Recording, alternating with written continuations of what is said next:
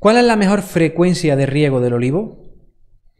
¿Es mejor regar más veces con menos agua o regar menos veces con más agua? Si estás aquí es porque quizás te estás planteando si estás regando bien, si podrías aprovechar mejor el agua o quizás simplemente necesitas conocer cuáles son las variables que determinan la mejor frecuencia de riego. Lo que sí te puedo decir desde mi experiencia es que es mucho más importante conocer y dominar bien la frecuencia y dosis de riego diaria que se le aplica al olivo que el volumen final total que le damos al, en la temporada de riego a una planta. Por eso en este vídeo vamos a analizar en profundidad cómo llegar a una buena frecuencia de riego que nos dé los mejores resultados siendo mucho más eficiente y eficaz con el uso del agua de riego.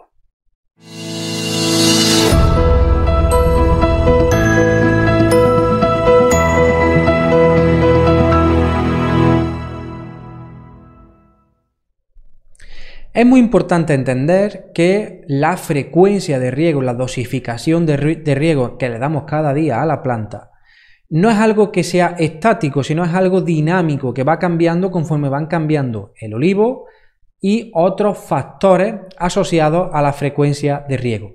Y entonces, ¿cuáles son estos factores asociados a la frecuencia de riego? Pues bien, la elección de la frecuencia de riego hay que hacerla teniendo en cuenta los siguientes factores. Lo primero es cuál es la textura y cantidad de materia orgánica que tenemos en el suelo. ¿Por qué? Te voy a poner varios ejemplos para que lo entiendas. Por ejemplo, suelos arcillosos son suelos que tienen una baja tasa de infiltración de agua, pero tienen una alta tasa de retención de agua. Por tanto, aquí en este caso tenemos que dar riego que tenga un intervalo de tiempo más largo, pero sin embargo con mayor cantidad de agua. Es decir, tenemos que aportar grandes cantidades y luego espaciar los riegos más allá en el tiempo.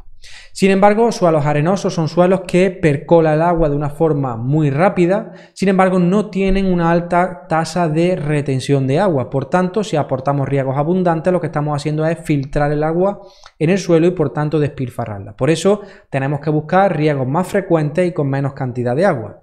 Luego también la materia orgánica influye de una forma decisiva. Y es que la materia orgánica tiene la capacidad de absorber una gran cantidad de agua. Por tanto, en cualquier caso, en suelo arcilloso en suelo arenoso nos aumenta la capacidad de retención de agua, pero que también nos aumenta por esa mejora de la estructura la capacidad de infiltración de agua.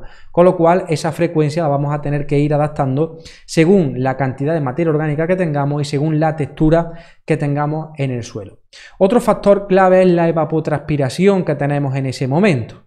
Lógicamente, en momentos donde la tasa evaporativa de agua, tanto desde el suelo como desde la planta, es alta, es decir, momentos donde hay eh, altas temperaturas con vientos secos, lógicamente en ese momento tenemos que intensificar el aporte de agua. Sin embargo, en momentos donde la temperatura es más suave y donde la humedad relativa es alta, pues lógicamente tenemos que o podemos reducir la dosis de agua y aumentar lo que es, perdón, disminuir la frecuencia aumentando el plazo entre riego y riego.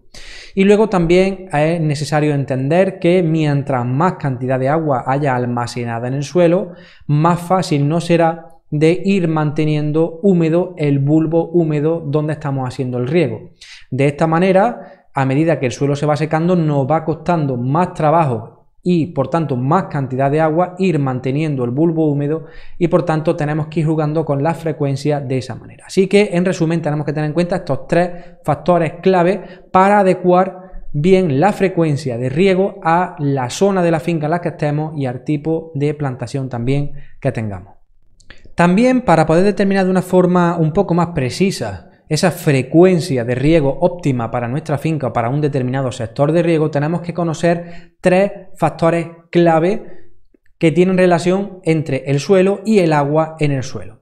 El primer factor es la capacidad de saturación o el suelo en saturación. Es cuando el suelo tiene todos sus poros llenos de agua. Es decir, cuando el suelo ya no admite más agua y lo que hace es percolar parte del agua que le aportamos y escurrir de forma superficial ese agua que le estamos aportando. Es decir, es la máxima cantidad de agua que un suelo puede admitir. Luego tenemos la capacidad de campo, que es cuando el exceso de agua se ha ido, bien por percolación, bien por escorrentía, el suelo es capaz de retener una cierta cantidad de agua de una forma estable. Entonces, ese, ese, porcentaje de humedad se le llama la capacidad de campo. Y luego tenemos el punto de marchitez, que es un suelo ya suficientemente seco como para que la planta no tenga la capacidad de absorber agua de ese suelo y por tanto se marchita. ¿Y por qué es importante conocer estos factores o estos, digamos, conceptos? Porque nos va a ayudar muchísimo a saber regar y a saber determinar la frecuencia justo en, en la finca o en el sector en el que estamos trabajando. Y conocer estos tres factores es muy importante a la hora de utilizar herramientas como por ejemplo los sensores de humedad que os voy a mostrar justo ahora. Un sensor de humedad es una herramienta que nos da la capacidad de saber qué porcentaje de humedad tenemos en el suelo. Por ejemplo, aquí estamos viendo el sector número 5 en el inicio de la campaña de riego de este año y lo que se puede observar como eh, existe una estabilidad con esa raya azul que estáis viendo, esa estabilidad lo que nos está marcando básicamente es esa capacidad de campo que tiene el suelo, incluso ya está con una, si vemos la tendencia en los últimos dos meses ya estaba descendente, ¿vale? Y luego vemos que con la aplicación de riego llega a un máximo y en ese máximo se mantiene durante un par de días.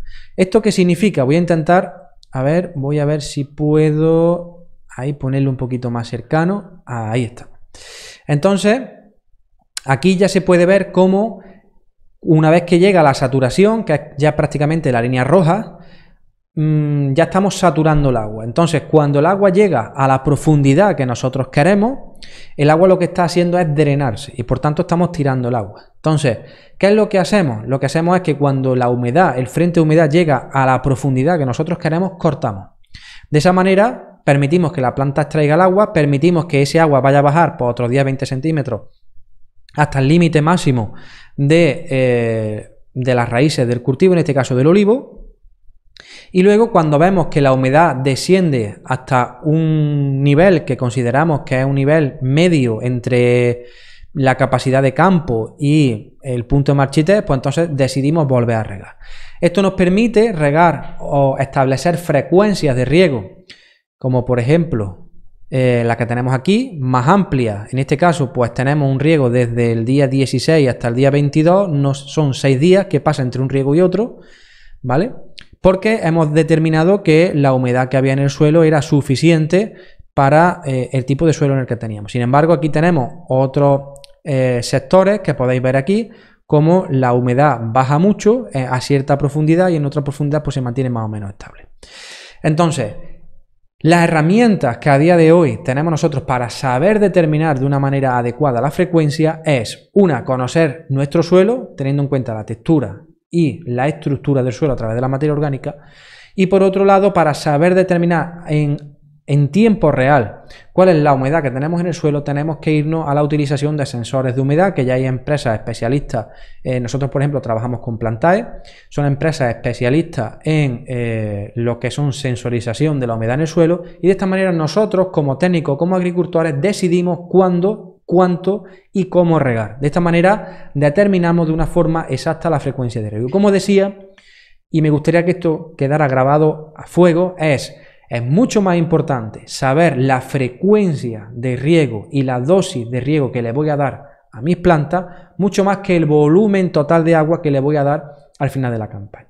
Estos son datos que nos ayudan a, tomar decisiones inteligentes, decisiones que dan resultados muy positivos y al final nos ayudan a tener éxito en la gestión de nuestra finca.